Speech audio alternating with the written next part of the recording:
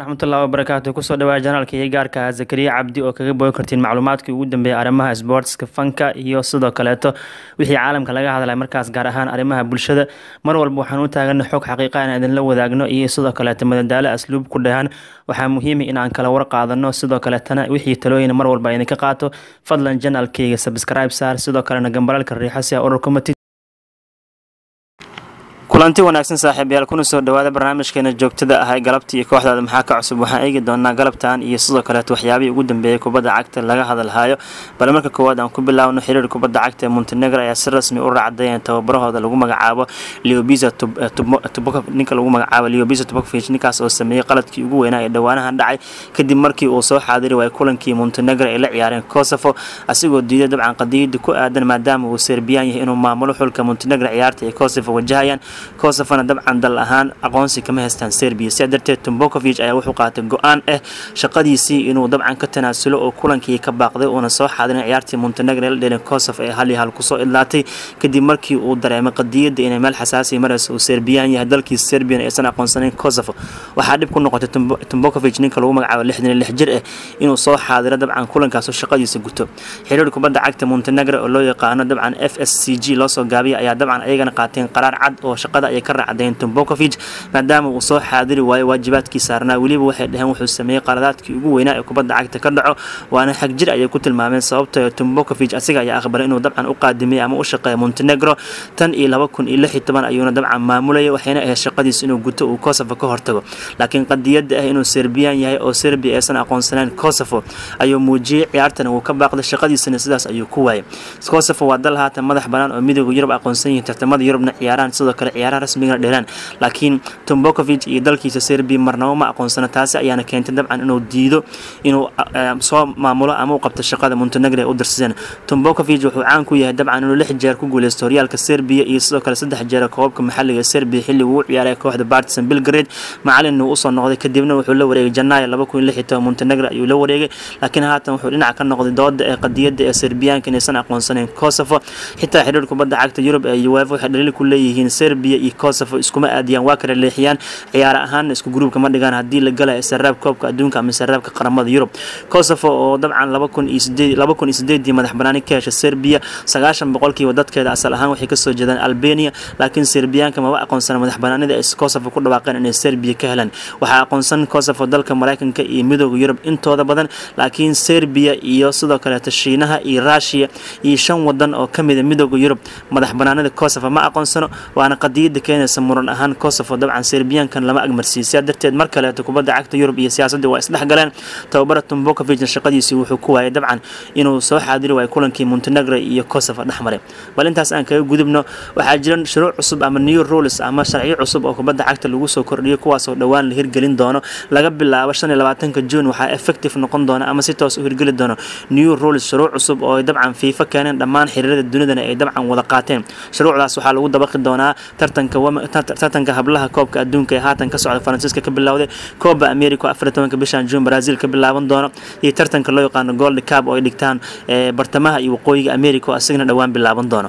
Aan marka sii wadno shuruucdan cusub ee la soo kordhiyay kuwooda ugu muhiimsan aan fiirin doonaa kow sharciga la soo kordhiyay waxay tahay kubadda haddii uu gacan ku dhaliyo ciyaaryahan attaakare ama qof weerar ah sida rabta gacanta ugu dhacdo ama shil ha ugu dhalisho ama sidoo kaleeto qayb ka mida jirkiisa haddii ay kubadda gacanta ka taabato uu kadib sii dhalisho lugta ku dhaliyo kubaddaas gebi ahaanba waxaa loo aqoonsana inaysan gool ahayn. Tani waxay yareynaya marka muranka ee garsoorayaasha inay dabcan siyaabo kala duwan u fasirtaan. Markuu ciyaaryahanka weerarka ku jira xerada ganaaxa kubadda ma intay gacan uga dhacdo? Kadib jilib ku sii dhaliya ma gacan ay uga dhacdo? Madaxu ku sii dhaliya waxaasoo dhan ma jirto. Interpretation laguma sameyna haddiiba ciyaaryahanka oo box ku jira ee kubadda gacantiisa meel ka mida taabato automatically foul ayaa loo aqoonsanaya sidoo kaleeto waxyaabaha la soo kordhiyay shuruucda waxaa ka mid a si loo yareeyo waqtiga la dilayo markii la taago bedelka ciyaaryahanka la bedelayo mar alla meesha uu garoonka ka taagan ayuu ka baxaya exit ayuu si dabcan loo yareeyo waqtiga luma jira awalna waxay soddon ilbiraqsiya loo ogolaa in lagu dilo waqtiga bedelka laakiin haatan lama ogolaan doono ciyaaryahanka meel alla meeshuu taagan yahay garoonka ayuu ka bixi doonaa sidoo kale shuruucda muhiimka la soo kordhiyey waxaa ka mid a wax lagu sameeyey goolayaha markuu dhigto kubadda uu goolkulaad sameynayo ama uu soo bilaabayo aan idhahda bilaabista kubadda goolayaha waxay ahayd inuu la ciyaara qasab waxay ahayd awal sharciga hore ciyaaryahanka saaxiibkiisa ee daafaca kubadda la ciyaaraya inuu ka baxo xerada ganaaxa ama dishootaha kadib ayuu u baasi karay. Laakiin hadda sharcigan cusub wuxuu u ogolanaya goolayaha saaxiibkiisa oo ag taagan hal mitir ba allah ka dhigay ag taagan inuu kubadda u baasi karo xerada ganaaxa ku jiro horena kubadda uu u sii wadan karo. Waxyaabaha kale ee muhiimka oo la soo kordhiyey waxaa ka mid a free kick markii la ama bulisyo markii loo dhigo kooxi ama ciyaaryahan uu tuura awal waxay aan jirta woolka darbiga kooxda xiranaysa ciyaartooyda inay dhexda ka geli karaan hal ilaa laba ilaa saddex ciyaartooy kale oo ka soo horjeeda opponenti ah kuwaas oo riixriixi kareen si space ugu banaanaato kubadda looga dhalin karo. Laakiin hadda sharci cusub wuxuu diidayaa kooxdii kubadda freekiga tuuranayso. Kaliya waxaa loo ogolyahay ciyaaryahankooda haddii darbigu wax ka xiranay in hal mitir uu dabcan masaafo u jiri karo kooxda kaleeta ee darbiga baraalka xiranayso si aysan isla riix u dhicin. Tani waa sharci cusub oo dabcan ka caawin doono daafacyada iyo kooxaha dabcan goolkiibarada inay aad iyo aad abaabul ugu galaan dabcan aan lagu gaadi karin kubadaha ee bulsoonada kuwaasna waa shuruucda ugu muhiimsan oo aan soo qaadanayna oo dabcan fiifa iyo guddiga garsoorka guud isla qaateen ee xiriirada kala duwan ee dunida ka jiro dhowaana tartamada lagu soo kordhin doono. Halaasan intaasaan kaga gudbaynaa ninka lagu magacaabay Eden Hazard weli ciwaanada qayb weyn ayuu ka sameynaya maadaama uu noqday ciyaaryahan Real Madrid ku soo biiray boqol milyan oo euro ay ku soo qaateen wuxuu soo galay liiska tobanka ciyaaryahan adduunyada ugu qaalisan ama history kubadda cagta ee dhowaanahan. Haddaba ninka ugu qaalisan number one ku jira waa Neymar Junior oo milyan oo euro. Paris Saint-Germain kaga soo qaadatay Barcelona kaalinta labaad waxaa ku jira Kylian Mbappe oo milyan oo euro. Paris Saint-Germain kaga qaatay Monaco Coutinho ayaa saddexaad ku jira oo milyan oo euro. Barcelona kaga soo qaateen Liverpool Cristiano Ronaldo dabcan afaraad ku jira oo euro ku fadhiyo milyan euro ku fadhiyo. Real Madrid ka soo tagay Juventus ku biiray Dembele ayaa shanaad ku jira milyan oo euro ku fadhiyo. Oo Borussia Dortmund ka soo tagay Barcelona ku biiray Paul Pogba ayaa liiskan ku jira oo milyan oo euro ku fadhiyo ka soo tagay Manchester United imaaday daawadayaal waxaa la xisaabinayaa lacagta kaashka marka koowaad loo dhiibay lacagaha bonuska gadaal laga bixi lama xisaabina. Direct transfer money la fiirinayaa. Neymar liiskan haddana ku soo laabanaya maadaama milyan milyan oo euro sanadii ee Barcelona kaga soo qaateen kooxda Santos. Sidoo kale liiskan waxaa ku jira Gareth Bale oo kooxda Real Madrid milyan lacagta euro ay kaga soo qaateen kooxda kubadda cagta Spurs Hazard ayaa liiskan ku jira dabcan asigana oo haatan Real Madrid boqol milyan oo euro ay kaga soo qaateen Juventus. Cristiano Ronaldo liiskan soo galay lix milyan oo sagaal Manchester United kaga soo tagay oo Real Madrid ku imaaday. Kuwaasna dabcan waxay ka mid yihiin ciyaartooyda dabcan caalamka haatan ugu qaalisan ama most expensive lagu tilmaamay. Kuwan waa liiska dabcan ugu sarreeya oo aan soo qaadanayna ciwaankan waxaa modification loogu sameeyay dib loo habeeyay kadib markii ninka lagu magacaabo Eden Hazard ee Real Madrid ku qaadatay boqol milyan oo euro kooxda AC Milan maxaa ka cusub. Milan waxaa ka cusub La Gazzetta dello Sportivo sida ay galabkan qorayso in qaar ka mid ciyaartooyda iibin doonto si kooxdan u hesho raasumaal ama cash dabcan looga badbaadi doono ganaaxa UEFA kaga imaan doona nidaamka dhaqaale wanaagga Yurub. Milan waxay iibinayaan Donnarumma Suso Frank Yannick Kisai iyo Andre Silva si ay uga generate garayaan ama ciyaartooydan iibintooda kaga helaan ilaa boqol milyan oo euro oo ay kooxdan isku faran doonto qasnadeeda ay ku soo celin doonto si culayska looga dejiyo wax walba waxaa ka daran. Milan waxaa muhiim ah kooxda in la badbaadiyo. Sidaa darteed ciyaartooy ka dhawaajina waa la gedi doonaa. Kooxda barcelona ayaa ku dhow inay ku dhawaaqda ama ay soo qaadato ciyaaryahanka lagu magacaabo christian stuwani oo ay lix milyan ilaa iyo milyan oo euro kaga soo qaadanaya kooxda heerka labaad u laabatay ee girona. Ciyaaryahankan uruguayga sida monte deportivo xaqiijisa wuxuu noqon doonaa ciyaaryahan barcelona ka tirsan sida ugu dhaqsiyaha badan laakiin ma ahaan doono halka weerar ee barcelona ay ku qanci doonto. Waxaa jiri doona weerar kaloo tayo wanaagsan oo kooxdan la keeni doono. Qorshahan wuxuu yahay anton grisman in la keeno. Haddii ay suurageli waasana marco shatford iyo manchester united ka soo qaadan doonaan laakiin christian stuwani waa dhiig joojin oo Luis Suarez ayuu inta badan bedel u noqon doonaa ama ciyaaryahan keedka fadhiista ayuu noqon doonaa xilli ciyaareedka dambe. Dhinaca Serie A Talyaaniga haddii aan ku laabano kooxda Napoli ee wadahal toos waxay la furtay dhigeeda Inter Milan waxay kala hadlaysaa suurtagalnimada ee Mauri Icardi nasiya Lawrence Insigne ayaan siinayna dhinaca dalabkan wuxuu ka socdaa dhanka kooxda Napoli oo Icardi aad iyo aad u xiiseynaysa waxaana Inter Milan loo bandhigay inay dabcan qaataan ninka lagu magacaabo Lawrence Insigne oo ka mid ah ciyaartooyda ugu muhiimsan xulka Talyaaniga iyo Serie dabcan iyo Serie Talyaaniga macallin Antonio Conte hore wuxuu sheegay inuusan iskuwaarkiisa ama kooxdiisa u rabin joogista Icardi.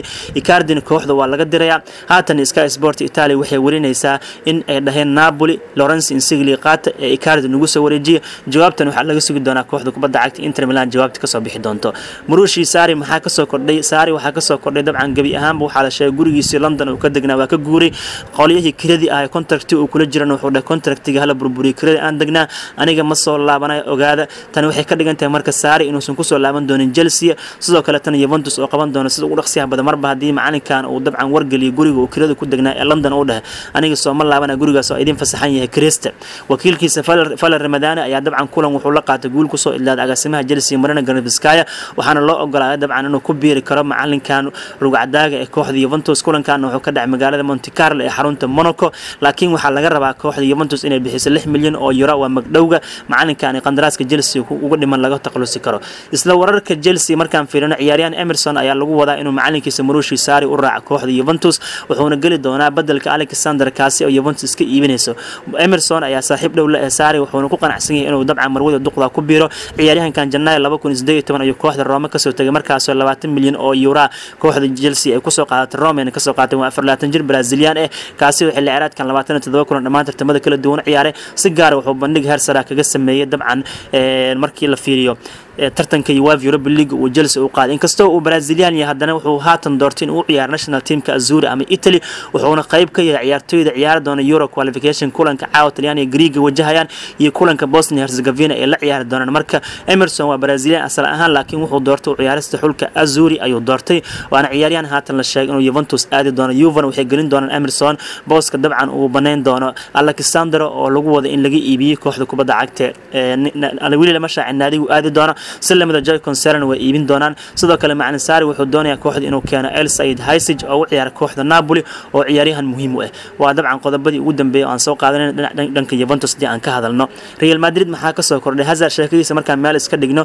Gareth bale ayaa si cad u sheegay kooxda inuusan ka tegi doonin. Sidoo kaletana aan la canjojoobi karin. Ciyaaryahankan qandaraas dheer iyo real madrid kula jiraa sida as qoreysa wuxuuna sheegay inuu tixgelin doono qandaraaskiisa inkastoo macalin zinedine zidane uu ka dhawaajiyey bale qorshihiisa inuusan qayb ka ahaan doonin xilli ciyaareedka dambe haddana wakiilka bale wuxuu sheegay ciyaaryahankan kooxda inuu ku qanacsan yahay. Sidoo kalena uu la sii joogi doono real madrid waxay ugu jiraan dadaal xoogan sidii ay bale kaga takhalusi lahayn maadaama sannadkii uu ka qaato toban iyo todoba milyan oo euro oo nadiif ah oo ay weliba maamulka kooxdan ka bixiyaan canshuuraha. Saa darteed bale bixitaan ma rabo wuxuu rabaa lacagtiis tartiib inuu u qaato waana la arki doona arrinkan halkay ku biyo shuban maadaama hazard iyo rodrigo iyo luco yobd la keenay ciyaartooy weerar ah. Kooxdaana dabcan hazard baaqi kuma sii ninka lagu magacaabo bale baaqi kuma sii ahaan doona balse waa la sugi doonaa meeshuu aadi doona inkastoo uu leeyahay aniga waa sii joogi doonaa. Dhinaca atletic madrid maxaa ka cusub? Kooxda atletic madrid waxay ku fashilmeen isku day ay ku dooneen inay ku soo qaataan ciyaaryahanka lagu magacaabo el haysig oo u ciyaara kooxda napoli. Sideed iyo toban milyan oo euro dalab ay ka gudbiyeen laakiin napoli dalabkaas soo diideen. Madaxweynaha kooxda napoli aurelio de laurentiis ciyaaryahankan wuxuu ku qiimeeyaa shan iyo labaatan milyan oo euro qandaraaskiisana waxaa kaga dhiman laba sano. Atletic madrid siddeed iyo toban milyan soo gudbiyeen. Waxaa la dhehey lacagahan ku soo dara. Waa jirkaasi oo napoli emboli ka soo qaateen ay kaga soo qaateen milyan oo euro haatanna waxay ku rabaan milyan oo euro waxayna kooxda napoli doonaysaa ciyaaryahankan inay ka faa'iido ilaa iyo milyan oo lacagta euro ah daniel sturgi oo ay maalmo dhoweed kooxda liverpool fasaxday. Haatan waxaa la sheegay naadiga galastara dalab rasmi inuu ka helay ciyaaryahankan ingiriiska wuxuu fadilaa ama doorbida inuu premier league joogo laakiin ilaa iyo hadda ma muuqato inuu sii joogi doono maadaama kooxaha ingiriiska weli dalab rasmi u soo bandhigin. Sagaalaatan jirkan waxaa la sheegay inuu dalab rasmi ka helay kooxda galastray wuxuuna aadi doonaa turkish super league sida ay qoraysaan shabakadaha kala duwan ugu horeysa shabakada lagu magacaabo asbor ee ka soo baxday gudaha ee dabcan turkiga iyo inside football shabakada lagu magacaabo. Daniel sturge xilli ciyaareedkii dhawaan soo ilaa liverpool siddeed iyo toban kulno premier league u ciyaaray. Sidoo kalena toddoba kulno champions league dheeli hal gool ayuu dhaliyay laakiin liverpool waa fasaxeen. Haatanna waxay u badan inuu ku biiri doono kooxda galastray oo u bandhigtay heshiis saddex sana haddii uu asiga raalli ku yahay ka ciyaarista dhinacaas iyo dabcan turkish super league ah ganariska maxaa ka cusub. Arsenal waxay sheegeen inay ku dhow yihiin soo qaadashada yani graska sida ay xaaji qiidisay shabakada sporti ciyaaryahankan belgiumka wuxuu dib ugu soo laabanaya gudaha premier league ah waxayna u badan tahay dabcan xidigan inuu dooran doono kooxda lagu magacaabo arsenal maadaama uu mar hore doortay. Yani graska ayaa doonaya dabcan asagana premier league inuu imaado. Waxay saaxiib dhow yihiin unai emry warbaahinta ingiriiska ee kisbares ugu horeysana waxay qoraysaa in arsenal ciyaaryahankan ay soo qaadan doonto. Weliba ciyaaryahankan waxaa la sheegay qiimo jaban oo ilaa iyo labaatan milyan boon inay ku soo qaadan doonaan garesko oo aad ugu wareer premier league oo aad ugu wareer jani super league markaana raba inuu premier league ku soo laabto. Daawadayaasha qiimaha badan waxaa idinla wadaagayna qodobadii ahaa galabta iyo kooxdaada. Maxaa ka cusub aan ku soo qaadan waxyaabihii ugu dambeeya ee suuqa ka jiro iyo qodobada kale? Hadalhaynta ximbaarsan fadlan qodobkii ku soo jiita fikirka ay ka dhiibo. Haddii aad tahay daawadan ugu cusub janaalkayga subscribe saar. Asalaamu calaykum waraxmatulah